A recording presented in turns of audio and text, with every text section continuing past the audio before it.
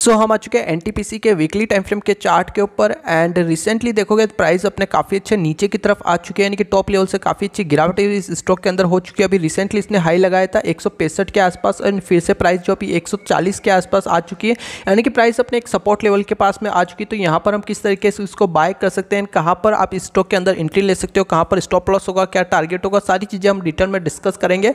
And stock के अंदर कौन सा ट्रेंड चल रहा है किस तरीके से आइडेंटिफाई करेंगे सारी चीज़ों को और कौन से लेवल इंपॉर्टेंट है, वो सारी चीज़ें हम डिजिटल में डिस्कस करेंगे, ठीक है? तो सबसे पहले देख सकते हो इसका वीकली टाइम फ्रेम का चार्ट लगाया एंड रिसेंट का ट्रेंड देखेंगे, यानी कि कोरोना के बाद से अगर आप इस स्टॉक का ट्रेंड देखोगे तो काफ़ी अच्छा स्टॉक का ट्रेंड है, हमेशा पॉजिटिव रहा है, यानी कि टॉप लेवल से देखोगे प्राइस जो हमेशा एक हायर हाई बनाती जा रही है एंड प्राइस कंटिन्यूसली ऊपर की तरफ़ मूव करती जा रही है, यानी कि प्राइस में अभी तक जो देखें इसमें मार्केट में काफ़ी अच्छा फॉल आया लेकिन इस स्टॉक के अंदर को, उसका कोई इंपैक्ट नहीं देखने को मिला कंटिन्यूसली स्टॉक जो है एक हायर हाई बनाता जा रहा है, ऊपर की तरफ़ निकलता जा रहा है, यानी कि अगर हम बाय करने के लिए इस स्टॉक को देख रहे हैं तो काफ़ी अच्छा स्टॉक है, क्योंकि हमेशा ऊपर की तरफ़ निकलता जा रहा है। तो यहाँ पर किस तरीके से हम इसको प्लान कर सकते हैं एंड एंट्री पॉइंट क्या हो सकता है, वो सारी चीज़ें हम डिटेल में डिस्कस करेंगे, ठीक है?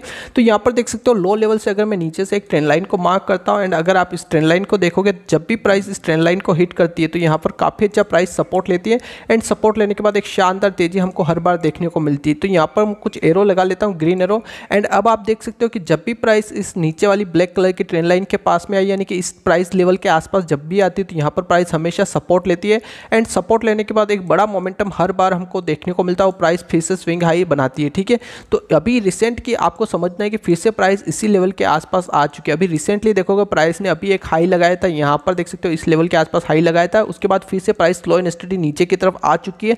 एंड प्राइस अपने उसी सपोर्ट लेवल के आस में सपोर्ट लेने के बाद फिर से ऊपर की तरफ़ निकलना स्टार्ट हो चुकी है यहाँ पर, ठीक है? तो आप इसमें किस तरीके से एंट्री करोगे, क्या स्टॉप लॉस टारगेट रहेगा, वो सारी चीज़ें हम डिटेल में अब डिस्कस करेंगे। ठीक है, अभी रिसेंट का एक चीज़ आपको समझना है मेजर ट्रेंड क्या है? इसका स्टॉक का जो मेजर ट्रेंड है हमेशा बुलिश रहा है।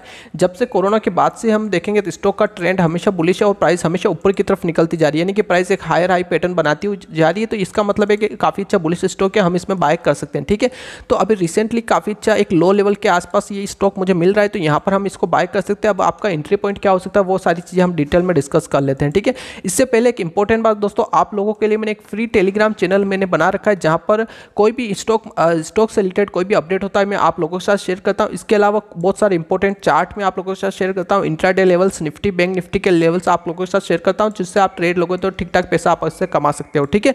तो आपने अगर फ्री टेलीग्राम चैनल ज्वाइन नहीं किया है तो लिंक डिस्क्रिप्शन में तो वहाँ से जाके इसको ज्वाइन कर सकते हो। बहुत सारे अपडेट मैं आप लोगों के साथ वहाँ पर शेयर करता हूँ, ठीक है? तो ज्वाइन कर लेना। इसके अलावा बात करूँ, अब हम चार्ट के ऊपर देखें तो डेली टाइम फ्रेम पर देखो तो एक इंपॉर्टेंट लेवल के आसपास मैंने एक ट्रेंड लाइन को मार्क किया एंड इस यहाँ पर देख सकते हो, जब भी प्राइस इस ट्रेंड लाइन को हिट करती है, यहाँ पर देख सकते हो, पहली बार यहाँ पर हिट किया रजिस्टेंस लेवल था, इसको ब्रेकआउट लिया यहाँ पर। अगेन यही जो लेवल था, एक सपोर्ट की तरह काम किया एंड फिर से प्राइस अभी ये जो लेवल एक रजिस्टेंस की तरह काम यहाँ पर करता हुआ हमको नज़र आ रहा है, ठीक है?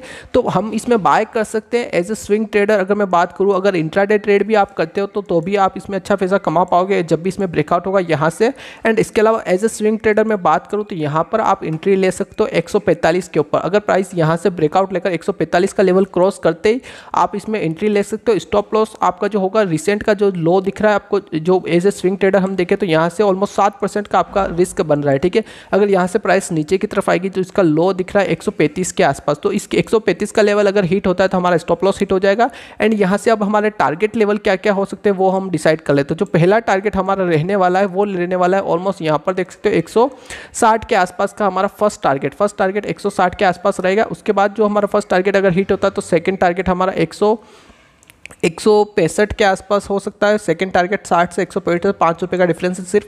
इसके अलावा जो लास्ट टारगेट होगा 170 के आसपास हो गया या फिर 180 के आसपास, क्योंकि फिर वो एक न्यू स्विंग हाई बनाएगा, उसके बाद फिर से प्राइस नीचे की तरफ़ आ सकती है। ठीक है? तो दो मेजर टारगेट है 160 हो गया, एक सौ पैंसठ हो गया, ये दो मेजर टारगेट आप लोगों के लिए होने वाला है। ऑलमोस्ट यहाँ से हम बात करें तो ऑलमोस्ट बीस तक की हमको तेज़ी यहाँ से देखने को मिल सकते हैं। क्योंकि जब भी प्राइस इस स्विंग लो के आसपास आती है, उसके बाद ऑलमोस्ट बीस बीस पच्चीस की तेज़ी हमको जनरली हर बार देखने को मिलती है। ठीक है? तो यहाँ से हम बाय कर सकते हैं। रिस्क काफ़ी कम है, दस रुपये का, दस पॉइंट का रिस्क है और टारगेट हमारा ऑलमोस्ट यहाँ से तीस पॉइंट का टारगेट हमारा हो सकता है, ठीक है? तो काफ़ी लो रिस्क के साथ एक काफ़ी अच्छा स्विंग ट्रेड हमको देखने को मिल रहा है। एक, दो से तीन महीने में हमारे टारगेट हिट हो सकता है। तो आपने अगर इसको नहीं लिया है तो डेफिनेटली आप इसको देख सकते हो। अगर आप इसको लेना चाहते हो तो डेफिनेटली आप इसको इस प्राइस लेवल के आसपास ले सकते हो। स्टॉप लॉस आपको लगा रहा है सिर्फ़ एक सौ पैंतीस या फिर एक के नीचे, एक के नीचे आपका स्टॉप लॉस होना चाहिए। जो भी अभी रिसेंट का स्विंग लो दिख रहा है, इसके नीचे आपका स्टॉप लॉस रहेगा, ठीक है? एक सौ पैंतीस के नीचे आपका स्टॉप लॉस रहेगा। मिलेगा एंड एक के आसपास एंट्री होगी। इसके अलावा फ़र्स्ट टारगेट एक सौ टारगेट एक सौ पैंसठ थर्ड टारगेट एक सौ सत्तर हो गया या फिर एक सौ जहाँ तक ये प्राइस जाती है, वहाँ तक हमारा टारगेट हो सकता है। स्टॉक काफ़ी अच्छा हमेशा प्राइस ऊपर की तरफ़ मूव करता मूव करती जा रही तो ये चीज़ हमारे लिए अच्छी है, क्योंकि अदरवाइज़ दूसरे स्टॉक देखेंगे तो डेफिनेटली वो ऊपर नीचे होते जा रहे हैं, लेकिन ये स्टॉक कंटिन्यूसली ऊपर की तरफ़ मूव करता जा रहा है। तो इसमें काफ़ी ज़्यादा चांसेस है कि प्राइस में हमारा ये टारगेट हिट करेगी, ठीक है? इसके अलावा डेफिनेटली दोस्तों, ये वीडियो आपको कैसा लगा? कॉमेंट्स में ज़रूर बताएँ। एंड टेलीग्राम चैनल ज्वाइन नहीं किया है तो लिंक डिस्क्रिप्शन में जाके इसको ज्वाइन किया बहुत सारे अपडेट आपको वहाँ पर मिलते रहेंगे। ठीक है तो मिलता हूँ नेक्स्ट वीडियो के अंदर।